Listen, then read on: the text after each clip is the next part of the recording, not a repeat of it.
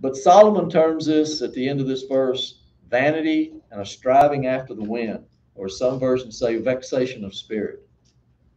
And isn't that what we have in our life if we ignore God?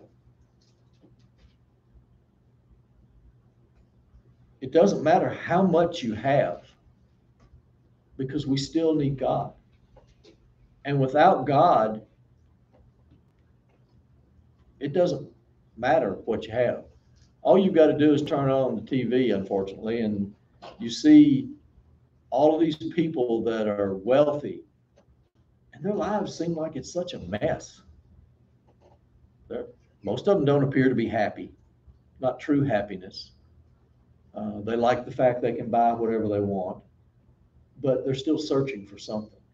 The same as Solomon was in this book.